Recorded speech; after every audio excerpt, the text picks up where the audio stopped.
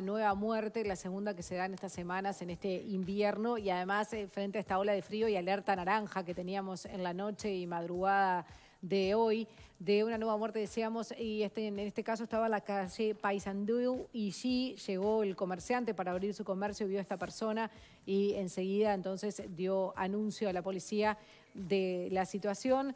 Eh, Daniel de León estaba allí y decía, bueno, acá se tiene que investigar. Una de las eh, teorías es que falleció eh, por hipotermia, por el frío intenso que hubo en estas horas, pero además tenía un corte en la cabeza, por lo cual se estaba investigando. Hoy vamos a recibir aquí en estudio a la directora de vulnerabilidad del MIDES, Fernanda a Wersberg, espero haberlo dicho bien.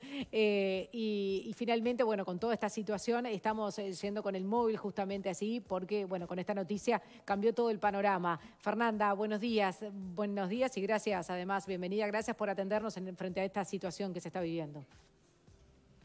No, buenos días para ustedes y para toda la audiencia. Bien. Eh, contanos, Fernanda, qué se sabe de este caso hasta el momento. Eh, bueno, la persona fallecida es un muchacho joven, eh, Gustavo, de 31 años. Era una persona en calle, pero que había tenido, había tenido intervenciones intermitentes en el programa, o sea, no, tenía la permanencia en ninguno de nuestros centros. Eh, lamentablemente es una noticia muy triste de dar, como, como, como Estado tenemos que decir que en esta situación concreta llegamos tarde. Él ayer, eh, la última vez que había estado en uno, en uno de nuestros centros fue el sábado de noche, en, un centro de contingencia en la calle Paysandú. Eh, el resto de los días no concurrió. Ayer llegó y ya cuando llegó no había cupo disponible porque, bueno, con, con el tema de la alerta naranja, eh, lamentablemente estábamos a cupo lleno, por lo tanto eh, no se le pudo dar la respuesta que nos gustaría haberle dado. Eso, la calle, entonces? eso, es preocupante, Fernanda, lo que estás, lo que estás diciendo, porque bueno, en una alerta naranja con el frío intenso eh, quedó gente en la calle que en realidad buscó un refugio y no, no había cupos. No, hay una alternativa, por ejemplo, no sé, con, con, el COVID se buscaron hoteles, se buscó el Palacio Peñarol, eh, cualquier salida que no sea ir a la calle? Mira, no, estamos trabajando a todo trapo para, para generar cada vez más cupos. Ustedes son conscientes, lo ha dicho el ministro, lo hemos dicho en otras instancias. Hemos generado desde que, desde que se inició la pandemia 400 cupos adicionales. 350 de ellos eh, de cupos de 24 horas atendiendo a la situación de población eh, extremadamente vulnerable, eh, mayores de edad o con problemas de, enfermedades crónicas o inmunodeprimidos. Pero bueno, estamos en, estos, en, los próximos días abriendo 100 cupos más y, y tenemos 100 más, pero bueno, todo eso lleva procesos desde, desde generar las instalaciones adecuadas y contratar los equipos que puedan contener también a estas personas. ¿Cuánta eh, gente era la que ayer estaba alojada de noche? En ese lugar, 33 personas. ¿Y en todo, en todo el... Que es el cupo total. ¿Y en todos los servicios que tenían disponibles? Eh, bueno, eso eh, te, lo te, lo, debería confirmar. Pero bueno, estamos en lo que no me queda claro, Fernanda, es si todos los cupos estaban ocupados en todos los refugios y no se lo pudo derivar a ese hombre a otro lugar. Ese dato aún no lo tengo porque, bueno, esta noticia me llegó a mí a la misma hora que ustedes. Estamos, estamos intentando averiguar con el centro cuál fue la situación concreta, qué fue lo que se le respondió. Sí sabemos que él quedó muy enojado por, por porque bueno, porque se le dijo que no había cupo, intentó ingresar de todas maneras, pero bueno, esto es ¿Y ese golpe fue, esta historia. Ese, de esas quedó ese golpe fue allí intentando ingresar y hubo que, llamar a la policía. Pero me parece que, bueno, que ese dato eh, es menor al lado de, bueno del fallecimiento de una persona es que, todo compone la situación Fernanda es un hombre prioridad protegerlo es un hombre que había alerta naranja en la calle fue a golpear la puerta de un refugio allí no se lo dejó entrar tuvo que intervenir la, policía y volvió a la calle golpeado No sé si es un dato tan menor. Sí, en realidad también el no, golpe, no, el- Transforma la Eso, situación el, absolutamente. golpe, eh, eh, vayamos por orden. El, el golpe que, que se dio en ese momento, ¿se lo dio contra algo? ¿Fue el mismo? ¿Se lo dio contra, contra otra persona? ¿Cómo fue el golpe? Y además, Estamos- ¿qué, qué estamos importancia en- tiene ese golpe? Porque quizás tiene que ver con la causa de muerte. Bueno, sí, esos datos no los tengo, esos datos los tiene que eh, confirmar el Ministerio del Interior, no, no los tengo yo disponibles. Acá hay, hay un asunto, Fernanda, que me parece, eh, en esto respecto a si es un dato menor o no, que es, si muere una persona en situación de calle, siempre eventualmente hay una responsabilidad de no haber podido dar una respuesta a esa situación concreta. Ahora, una cosa es que muere una Sin situación duda, de calle sin poder dar respuesta a esa situación concreta, sin haber tenido un conocimiento o habiéndolo tenido hace mucho tiempo, o que se contactó una vez con el Estado y nunca más quiso volver. Otra cosa es que haya tocado la puerta del Estado esa noche y el Estado le haya dicho que no tenía un lugar y que no le haya dado una respuesta. Me parece que no es un dato menor, me parece que hace una circunstancia completamente distinta de, eh, respecto a esta muerte.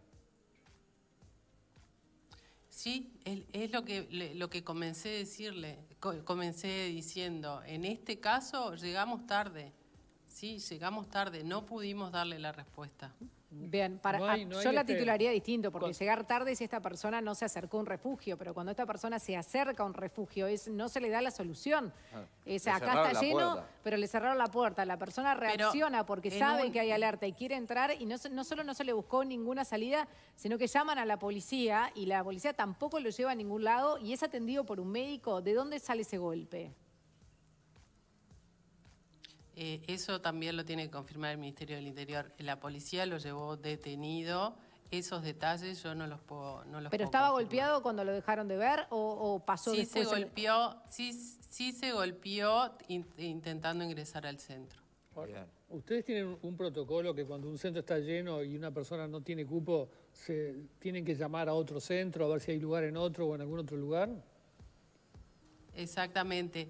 Eh, cuando nosotros cerramos puerta de entrada eh, por todo el tema de la pandemia, eh, puerta de entrada continuó funcionando, pero en la modalidad de gestor de cupos. O sea, en este caso, si la persona, si en ese centro al que él concurre, que fue su último centro de referencia, porque había estado el fin de semana en ese centro, no, no hay cupo, tienen la obligación de llamar a, eh, est- est- esta, especie- eh, a, a esta organización que, no- que nos hace la gestión de cupos y ahí les tienen que comunicar a qué otro centro se puede concurrir. ¿Y se cumplió ese Esos protocolo? datos aún no, es, esos datos aún no los tengo. eh, porque decidí igual dar la nota con ustedes para, para, para dar la cara y para decir, para contarles esto. Eh, el- los, los demás detalles los, los podremos dar en el correr del Está día. bien, habrá que ver la, la investigación dónde recaen las responsabilidades. Sí, ¿y qué pasó en ese también en ese trayecto donde la policía lo, Sí, lo va a sí. buscar con, con esta denuncia? Primero, si lo llevaron o no a, a que lo viera un médico y después de decir, bueno, está buscando un refugio, no encuentra, eh, ¿qué hacemos? ¿Lo dejamos en la esquina No, que más le guste? Sabemos, sabemos hasta ahora la situación hasta dónde el hombre es detenido y se va con la policía, es hasta donde tú sabes, Fernanda. Y bueno, después lo que sabemos es que apareció muerto en esa esquina. Claro. Falta resolver qué pasó en el medio. Que- cosas que importantes. tenemos- Eso tenemos que verlo con el Ministerio del Interior y bueno, y más allá de solucionar, porque ayer, la No, verdad, y- Fernanda... Y, me- también con el MIDES, ¿no? Porque si No. se cumplió el protocolo. Sí, también, Exacto. también. Claro. La Eso, es previo igual. Eso es lo que ella está diciendo que falta todavía en el protocolo del MIDES ver qué pasó ahí, luego con el Ministerio del Interior, que fue lo que, lo que terminó sucediendo. Pero el, el- el inicio de todo esto, porque esta persona podría haber dormido en un refugio, es que, que el MIDES no tenía capacidad. eh, y te, te iba a consultar, porque a mí me pasa también, como nos pasa a todos, que vemos cada vez más A- a personas ver, no, en eh, situación de calle y nos estoy- acercamos a explicarle. Sí. Sí, yo estoy asumiendo eso, no te lo puedo confirmar. O sea, no sé si, le, si a, a esta persona se le dijo que no había lugar en otros refugios o no. Asumo que dado la situación en que estamos y que era un día eh, de alerta naranja, eh, asumo que, que siguiendo el protocolo tienen que haber eh, realizado la gestión de averiguar. Eso no te lo puedo confirmar, ¿sí? Entonces, eh, estoy asumiendo, danos tiempo para, para investigar concretamente qué fue lo que pasó en este caso. Bien, y como directora de vulnerabilidad de- del MIDES, eh, de- en este caso llegamos tarde, dijiste. Bueno, ¿Qué pasa con el resto de los casos? Y es a lo que iba a preguntarte, porque cada vez vemos más gente. Hablaban si compulsivamente sí o no, eh, si en ese lugar tenía que estar la policía o en realidad tendría que haber otro tipo de equipo para ver esta gente que tiene otros temas, muchas veces más allá de la soledad o no tener un techo o dinero para pagar, sino muchos años de calle, de haber perdido todas las redes, eh, de haber estado en la cárcel, de adicciones, eh, temas eh, psiquiátricos. ¿Qué solución se está llevando a cabo? Porque estos días de frío van a continuar, recién arranca el invierno y llevamos dos muertes.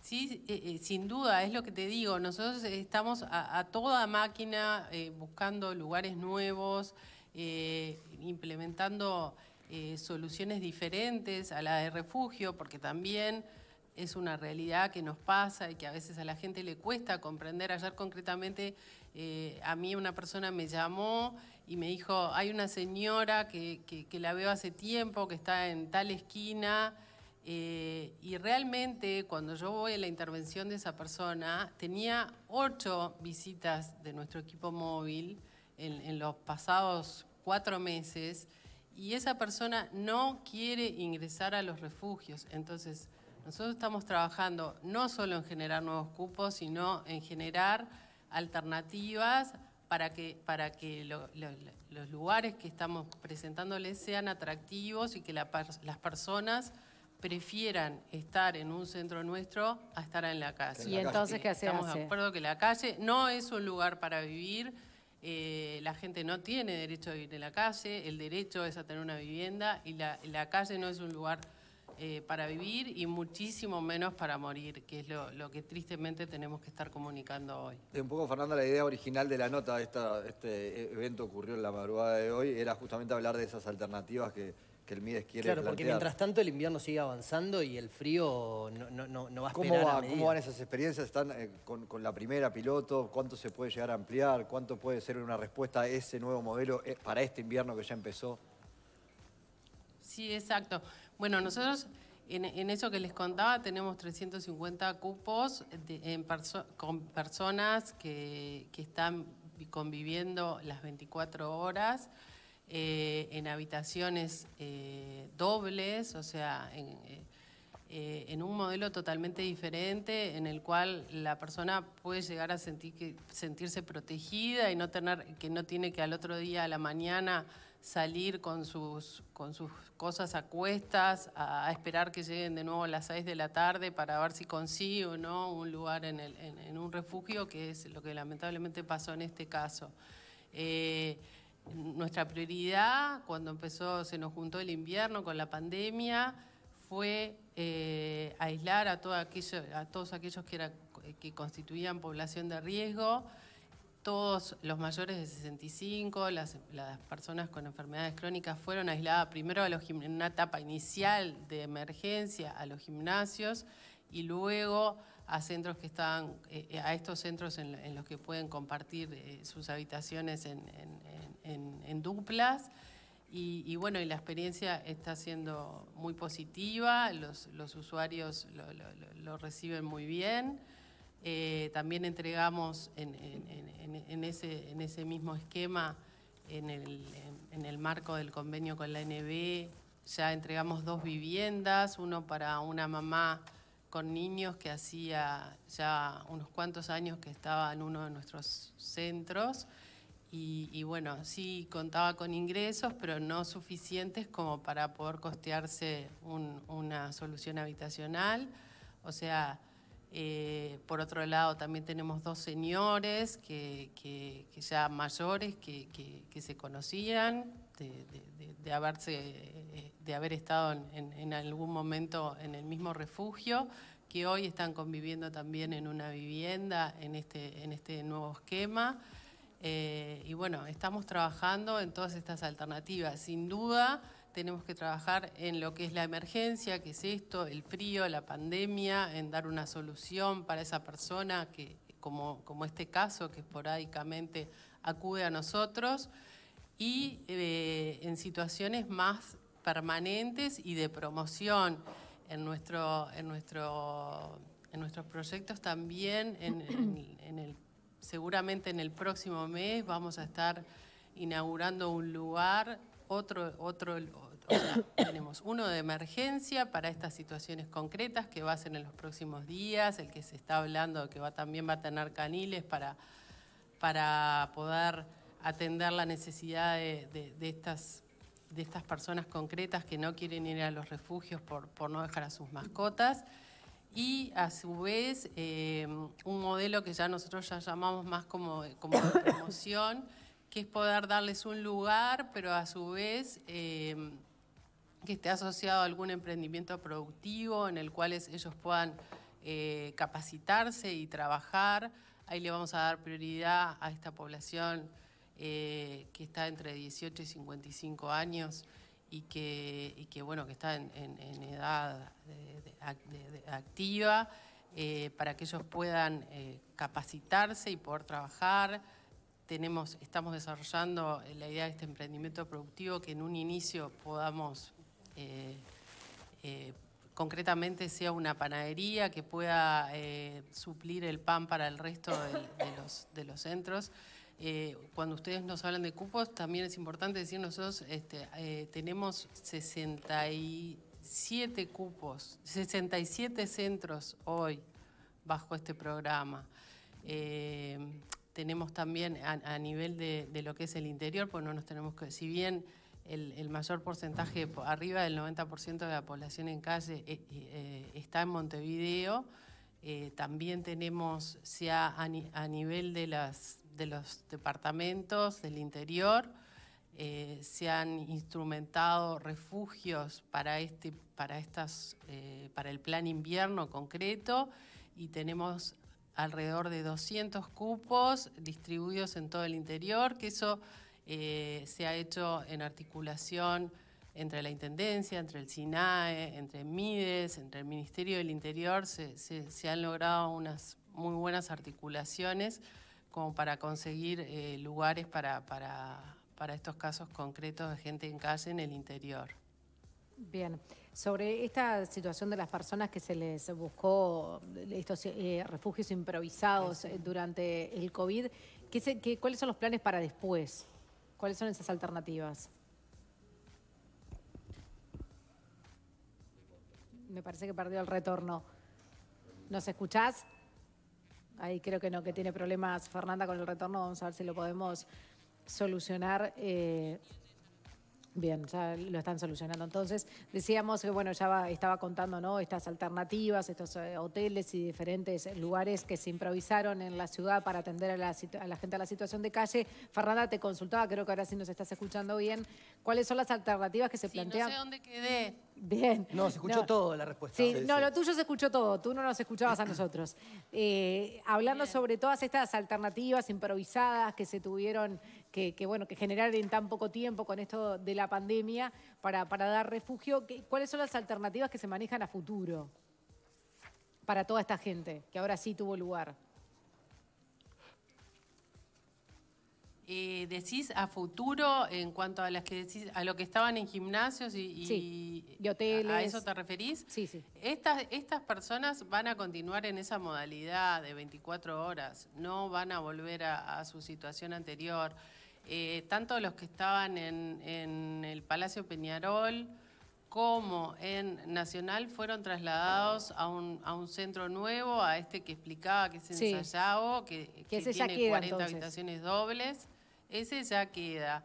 Y después los que estaban en, Defensor, junto con algunas otras personas también del Palacio Peñarol, fueron trasladadas a los, módulos, a los módulos habitacionales que tenemos en la rural del Prado, que son módulos nuestros, que eh, tenemos distintas alternativas. Estábamos buscando y estamos definiendo el lugar donde serán trasladados esos módulos, pero también esos módulos van a quedar permanentes y son en este mismo régimen de dos personas por módulo. Bien, y al caso de los hoteles. Y eh, me está faltando algo que es también en el, en el próximo mes vamos a estar inaugurando en lo que es el Instituto Artigas, que, es eh, el Instituto de Rehabilitación de Ciegos. Eh, vamos a estar inaugurando un complejo con 28 módulos habitacionales, cada uno con su, con su baño individual y con un- una suerte de lugar de, de zonas comunes. Y ahí van a estar yendo aproximadamente unas entre 50 y 54 personas. Bien, y en el caso de las personas que están en hoteles, Las, las personas que están en hoteles es el hotel, o sea, hay un único hotel que tenemos. Esas personas eh, fue- fueron las primeras que fueron trasladadas y fueron las personas mayores de 65. Esas personas mayores de 65 van a quedar dentro del- de la división de calle, el programa calle. Existe, eh, está tanto el, calle, que es todo este sistema de refugios, está el programa Madres con Niños y está el programa de cuidados. Además, bueno, hay un programa de captación y derivación, pero el programa de cuidados es justamente el que atiende a todas estas personas que requieren de cierto apoyo porque por temas de salud o porque no son au- 100% autoválidas. Entonces, todas las personas que están en el hotel, el hotel está hasta septiembre, van a ser trasladadas a centros de nuestro programa de cuidados en esta misma modalidad de 24 horas. bien, Fernanda Ausperber, muchísimas gracias por eh, esta comunicación, por toda la información y bueno, seguiremos en contacto. Bueno, gracias a ustedes, estamos a las órdenes. Hasta luego, muchas gracias. También